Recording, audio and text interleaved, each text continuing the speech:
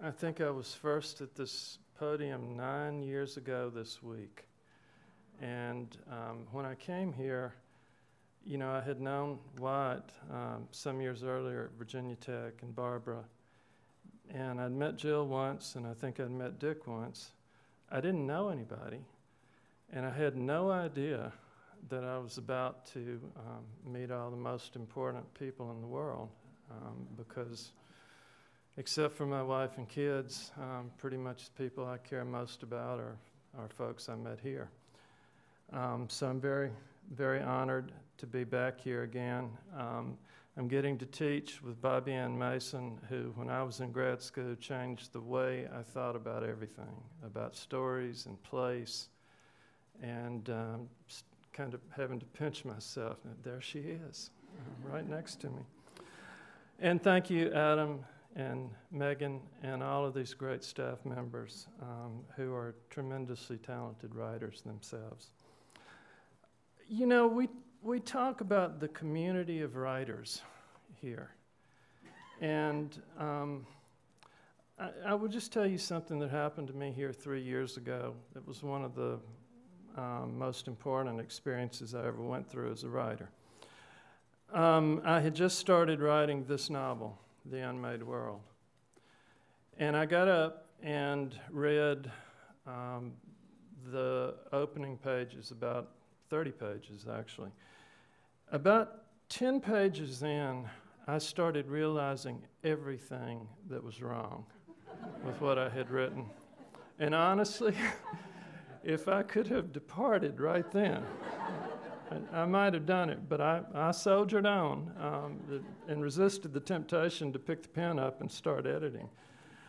And I actually, um, I was so distraught that the next day, um, which was the last day of the conference, I was driving away and and I sent Tony Earley a text and I said, Tony, should I quit writing that novel? And Tony wrote me back. I don't think he remembers this. He said, Brother, only you can answer that question. But I will make the observation that I don't think you've quite got the right perspective yet on your main character. And it was one of the more important things anybody ever said to me. Um, I think we get the notion that, that the community part of it is the faculty offering advice um, to the people in the workshops. But I've seen people come through these workshops who are my colleagues now, and um, you know, uh, maybe they were unknown when they first showed up here, but they're very important writers, and I've gotten advice from them as well. So. Um, it's really, it's really fabulous to be a part of this. This book is dedicated to Jill McCorkle um, because she's one of those people who's always been there for me. Since I'm not reading from the front, I've got to do that whole business of telling you what you would know if you had read the front. And then um, I'm going to start reading from the second section, probably for about 30, 35 minutes. So, my main character, Richard, is a Polish American who covers Central California for the Los Angeles Times. Um, two and a half years earlier, while on a visit to Poland, where he and his wife have an apartment, um, he has gotten involved in an accident that cost him um, his family. And uh, it was a result of a, of a chance encounter on a snowy road with um, a Polish criminal who is the other point of view character that we follow off and on throughout the novel. Richard, the main character, uh, mostly remembers this man looking through the shattered um, glass and leaving him there to die with his wife and daughter. And he's haunted by that image. So, where we pick up, um, this has all happened to him two and a half years earlier.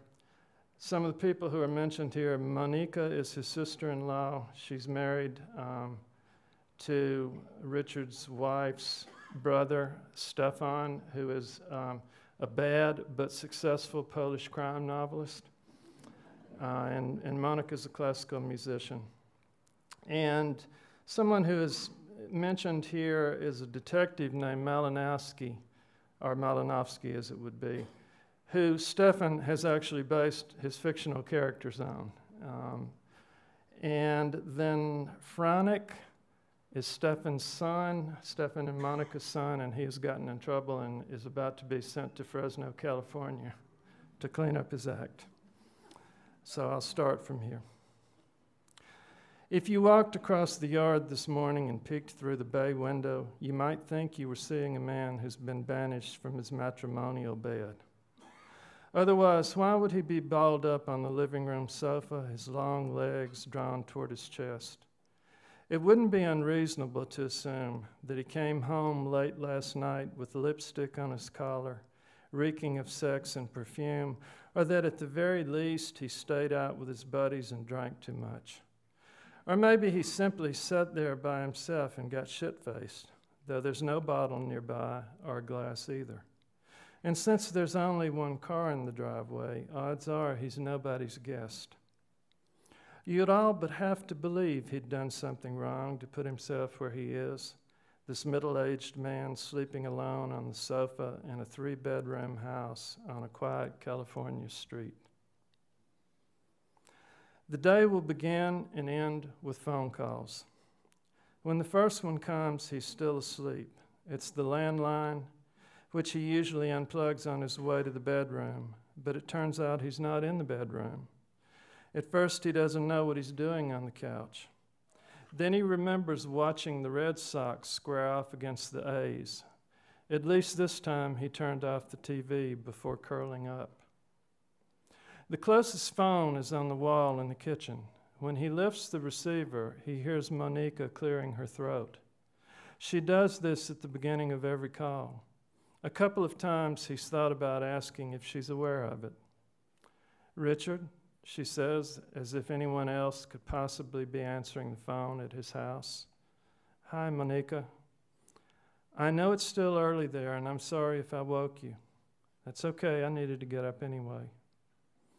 I'm by myself right now, and I just wanted to mention a couple of last minute things. He's standing in the breakfast alcove where he seldom eats breakfast anymore. On the other side of the driveway, in the almost identical Tudor that belongs to Bob and Sue Lyons, he sees their daughter, Sandy, sitting at the kitchen table, staring at her laptop while she eats from a bowl of cereal. In the fall, she'll be a senior the other day, her dad told him that while she's planning to apply to Berkeley and UCLA and a few other state schools, she'll choose Stanford if she gets in. He turns away from the window, steps up to the counter, and punches a button on the coffee maker. This time, he's the one who needs to clear his throat. Sure, he says, go ahead.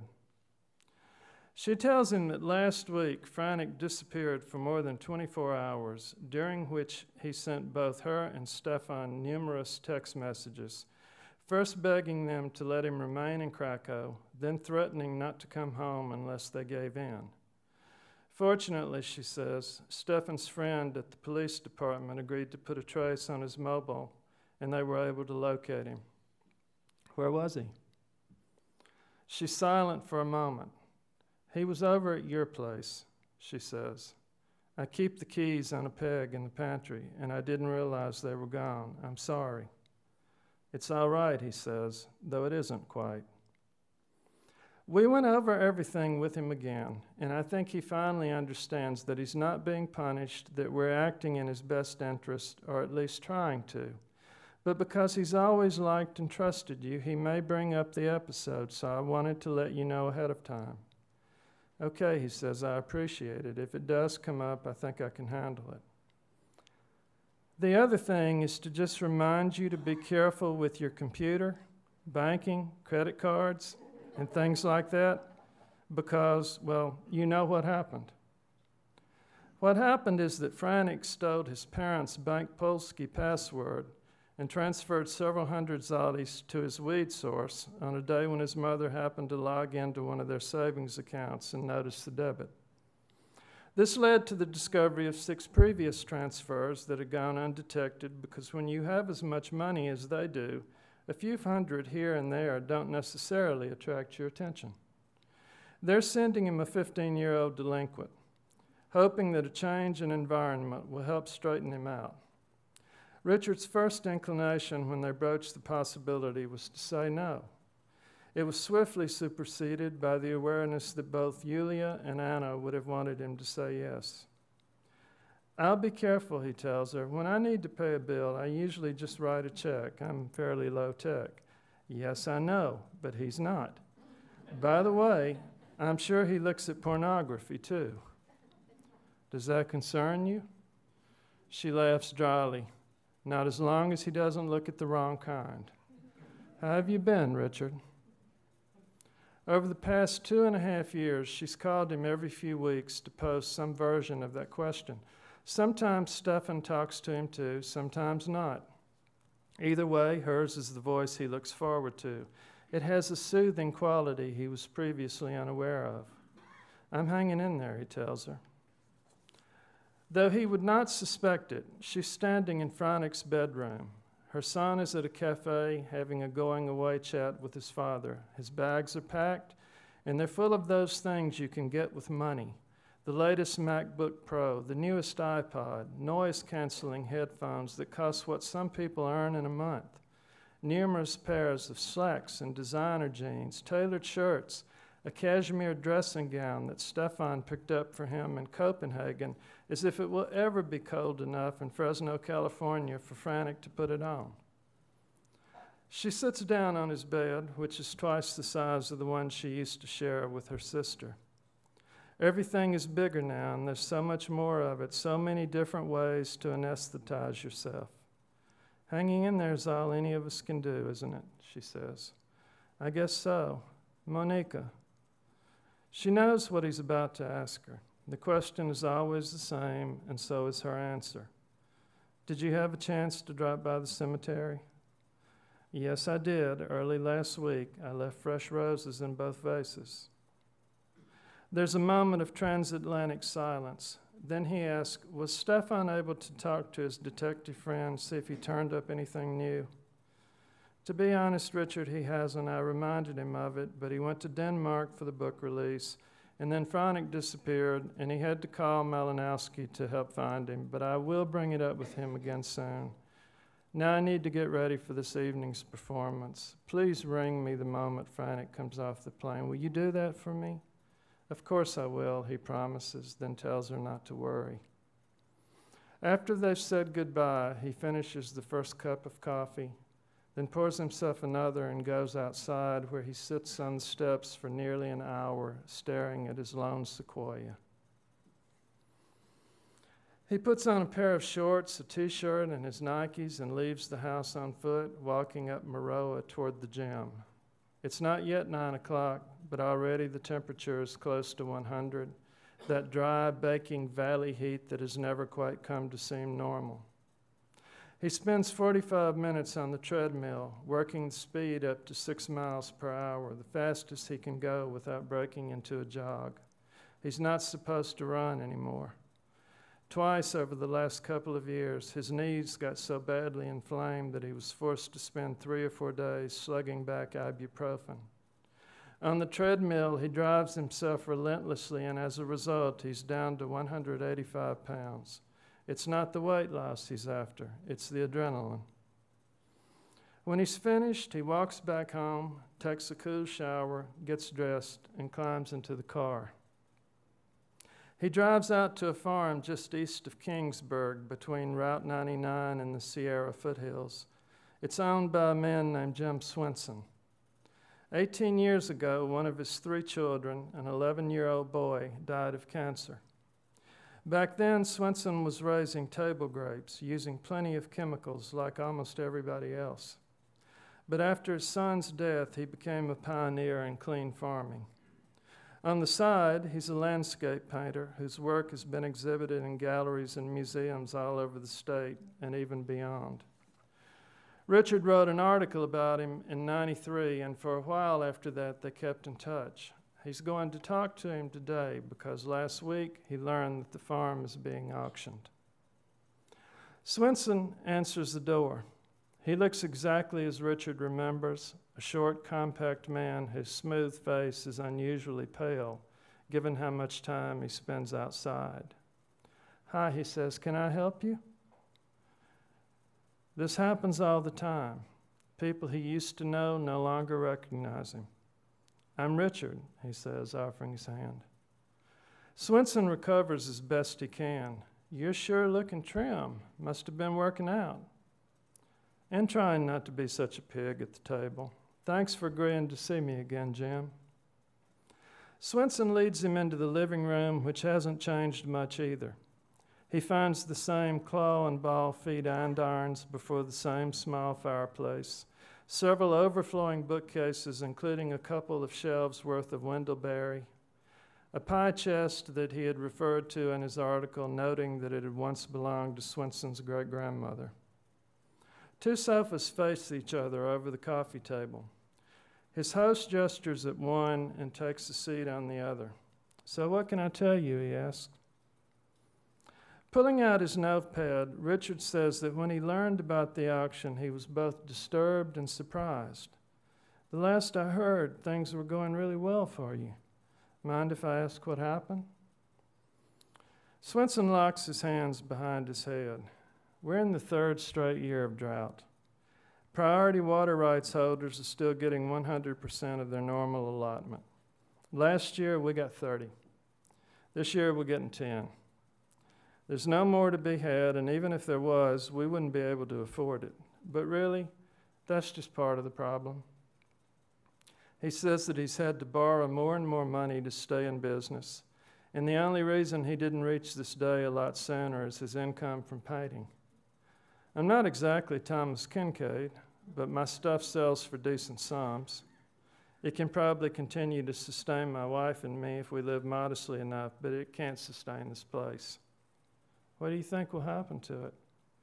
The land? It'll be bought by an agribusiness conglomerate, ConAgra, Archer Daniels, one of those. Am I right in thinking this must be costing you a lot of grief? I wouldn't say it meets the grief standard. Grief's what you feel when somebody you love dies. He says his failure to achieve long term success doesn't necessarily pretend failure for anyone else. That he still thinks clean farmers with know how and commitment can make a go of it. Of course, they'll need a little luck, he says. Nobody can, su- su- can succeed in farming without that. For a man on the verge of losing everything but his house and his vehicle, he remains remarkably upbeat. He says he'll have a lot more time to paint, that he wants to explore mixed media techniques, that he's developed enthusiasm for the works of newer artists like Soraya French and Sarah Knight. Richard arranges for his photographer to visit the next day. Before he leaves, they stroll through a peach orchard. I'm not going to deny being sad about having to throw in the towel, Swenson admits. But all things considered, I'm pretty fortunate. I've still got most of my family and friends, and I've still got my painting. For a lot of people in my shoes, the end is just the end. What's left of their lives turns into a long, dismal slog. He pulls a plump Elberta off a branch, polishes it on his shirt front, and hands it to Richard.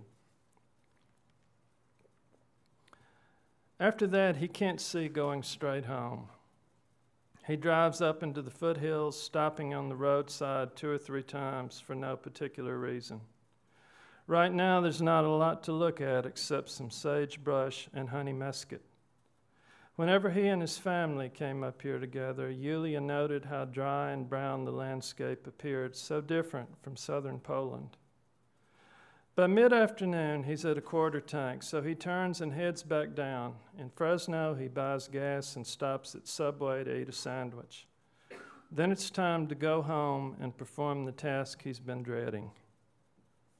The middle bedroom is his study, which he used to share with Yulia, her desk facing the window, so she could gaze at her garden, his facing the wall to avoid distraction.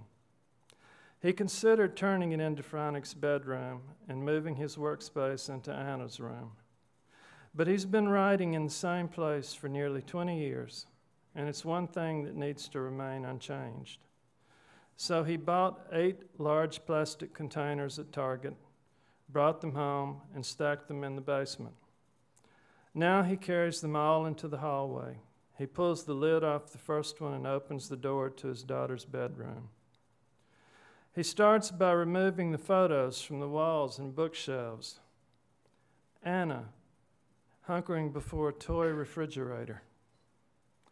Part of a kitchen set they gave her on her third birthday when she was in what she would later refer to as my 1950s housewife phase.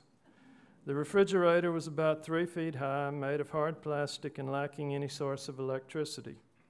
She cracked four or five eggs, dumped them into a toy skillet, and left the skillet inside it while they went for a week to Yosemite.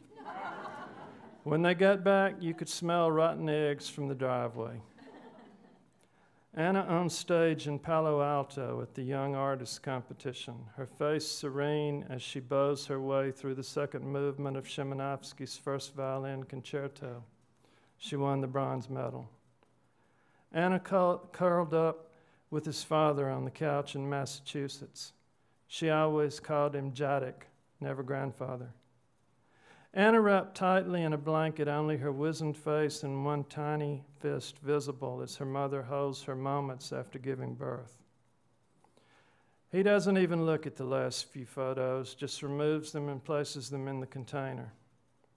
Next, he goes to work on the books Agatha Christie, Tove Jansson, Astrid Lindgren, and though he once observed that they didn't jibe with her other choices, Larry McMurtry's Lonesome Dove novels. Cowboys, she responded, are my weakness. he thought the line was original, but it turns out there's a book of short stories on her shelf with that sentence for a title. A tidbit to savor when it seemed none were left. The process ought to take days, weeks, months, years, a lifetime. Instead, it consumes less than three hours. He carries the containers one by one back into the basement. Then he returns to her room where he puts fresh sheets on the bed for Franek, places a light comforter and a cover and a pair of pillows in their slipcases.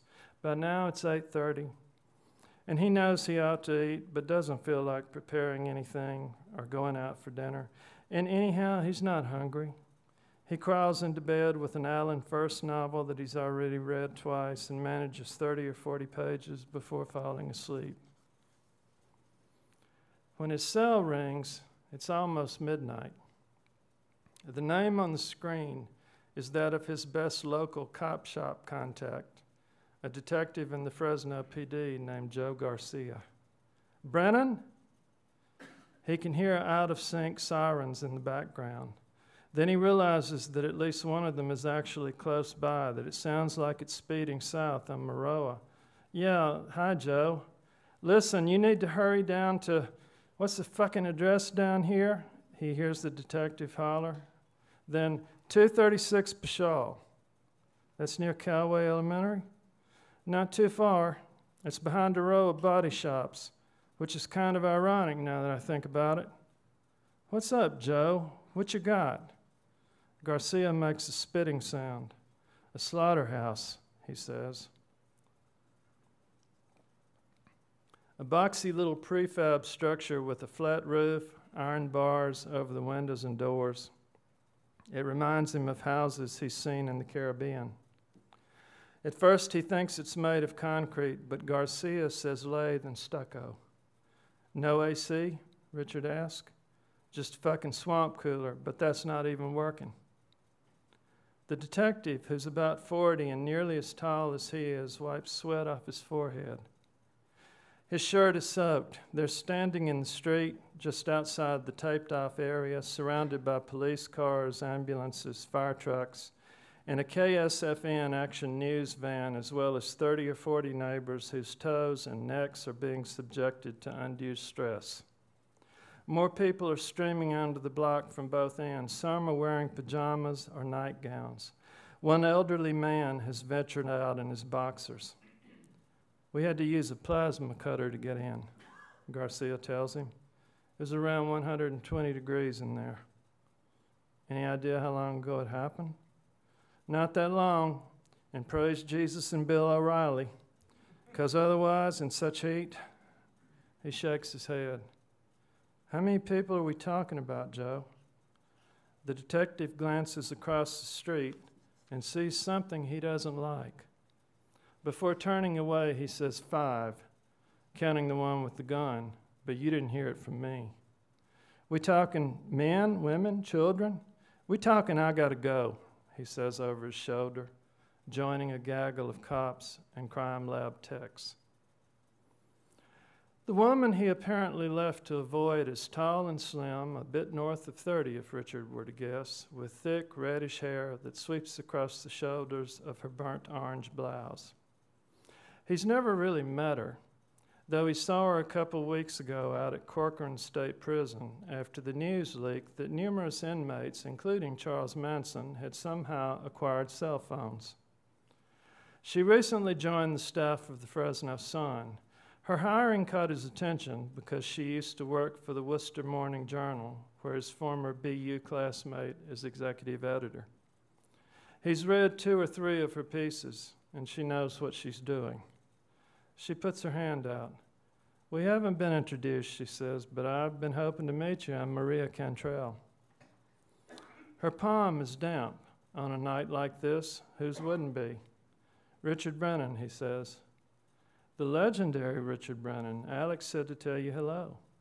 How's he doing? Ad revenues drying up, circulation's plummeting, you know, but hey, what are we going to do? As soon as she opened her mouth at the Corcoran press conference, he knew she was not a native New Englander. Texas, he would guess, probably the hill country. You don't sound like you're from Boston, he says. She laughs. You don't either, though I know you are. I grew up in Arkansas. Did you go to the University of Arkansas? A friend of mine teaches journalism there. I went to Lake Village High. I never made it to college. He senses she's waiting for a reaction to this last piece of information. If so, she'll be disappointed. Was it my imagination, he asked, or was Joe Garcia in a hurry to get away from you? I interviewed him a few days ago about a cold case. Something he was involved in? Yeah. Looks like your judging may have caused a little discomfort. He actually brought the case to my attention. Oh, well, Joe's his own private press agent. He can be useful, but I've got him marked handle with care. I told him I'm not seeing any story right now, and he acted pissed. Then the next morning, he phoned and invited me out for a drink. Just so you know, He's married. She laughs again. Just so you know, I do know. And I said no. the gurneys began to roll out the front door. The lumps in the first couple of body bags are far too small. Oh my God, she says, those are children. The asphalt they're standing on is sticky. He lifts one foot and then the other, focusing on the suction the tactile sense of it, the auditory. In another hour or so, when it cools down into the 80s, the surface of the streets will recover their firmness. There will be something solid and dependable to stand on. The EMTs load the gurneys into the backs of ambulances and they pull away from the curb, sirens ominously silent, flashers turned off. An FPD spokesman faces the television lights and reads a prepared statement, which essentially says nothing. In the morning, they'll hold a press conference, though when it will be, he doesn't yet know. Next, the DA steps up before the lights and says his own bit of nothing, and the crowd begins to straggle away. Richard tells Maria Cantrell good night, and she says that sometime soon she'd love to have coffee with him, let him bring her up to speed on the Central Valley since Alex told her he knows more about it than anybody else. He says, Sure. Instantly forgetting the promise as well as the person he made it to, and moving off to accost as many neighbors as he can before they disappear inside their houses, turn out their lights, and bar their doors. Family name? Aguilera. They'd lived there for two years. The husband? Andreas, in his mid 30s he worked at one of the nearby body shops. The wife, nobody knows her first name or where she worked, or if they do, they're not saying. Though everybody agrees she had a job of some sort and was often gone at night. Three kids, one girl and two boys, the youngest a toddler, the oldest around seven. An old lady came over most evenings, but nobody knows her name either, and descriptions of her differ. Driving home, he turns the air on full blast. In his study, he slams out 12 inches and emails the piece, then strips naked and climbs into the shower, turning it on as hot as he can tolerate, letting it pound his back and shoulders. Then he turns it all the way to cold, which isn't that cold, and stands there until the heat in his body starts to dissipate. He towels off, puts on a fresh pair of underwear, and steps into the backyard. It's around 3 a.m., maybe a quarter past. His hands are balled into fists, and he's seeing that face looking in through the shadowed window of the crumpled Mercedes. Weak chin, thin lips, small eyes, odd mole. It's as if nature chose not to waste time on the man's features, knowing something more essential was missing inside. He sits down on the still warm ground. Then he leans back, his knees raised, and looks at the sky. Despite the haze in the air, he can see a few points of light. Science was never his strong suit. He knows next to nothing about the constellations, can't recall more than a handful of names Cassiopeia, Canis Major and Minor, Andromeda, Orion. At random, he picks a pair of stars that look fairly close together. And though he knows they must be light years from each other and even farther from him, he stares at them until his hands and legs begin to relax and his pulse starts to slow. Like a patient prepped for surgery, he takes a final breath and falls asleep. Mr. Brennan? Mr. Brennan? At first, he doesn't know where he is or why Sandy Lyons would be bending over him in her nightgown, her hair down in her eyes. Nor does he know that he's not wearing anything but his underwear. Once this has all become clear, he masters the impulse to leap off the ground and cover as much of himself as he can. Instead, he slowly rises to a sitting position, holds it for a beat, then plants a hand and pushes himself up. I guess I gave you a fright, didn't I? He asked, slapping dirt off his palms like he just slid into second. Well, she says, I thought maybe you had a heart attack. You didn't, did you? Not in the traditional sense. Did you maybe drink too much or something? Not that either. There used to be a redwood fence between his house and hers, but because she and Anna were such close friends, he and Bob Lyons spent a Saturday afternoon nine or ten years ago sipping beer and knocking it down. He glances across the backyard and sees both Bob's and Sue's cars parked in the driveway. Neither has left for work yet and could well be watching while he stands here in his underwear talking to their teenage daughter. As casually as circumstance allows, he says, What time is it, Sandy? About a quarter after six. You're up kind of early, aren't you? I went to get a drink of water and saw you through the window. It sure is sweet of you to check on me. she looks at his compressor, which rests on a slab near the back door and is droning away. Is your air conditioner okay? Yeah, hon, it's fine. Um, I had to go cover a really disturbing event last night, which I'm sure you can read about in this morning's Sun.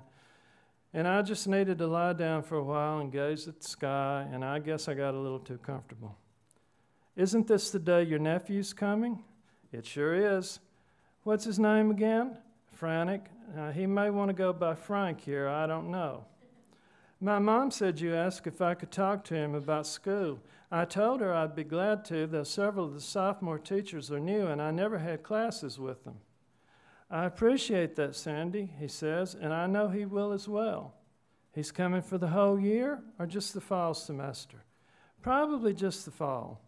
We'll have to wait and see. He'll actually be arriving right after lunch, and I've got a good bit to do before picking him up. So why don't you and I both go back inside before your folks wake and begin to wonder if I've lost my mind? okay, she says. She turns and takes a couple of steps toward her back door. then turns again. Before he knows what's happening, and perhaps before she does, she's thrown her arms around him, her breath tickling his chest. She lets go of him as quickly as she grabbed him, then slings her hair out of her eyes, walks across the yard, and disappears inside. Thanks.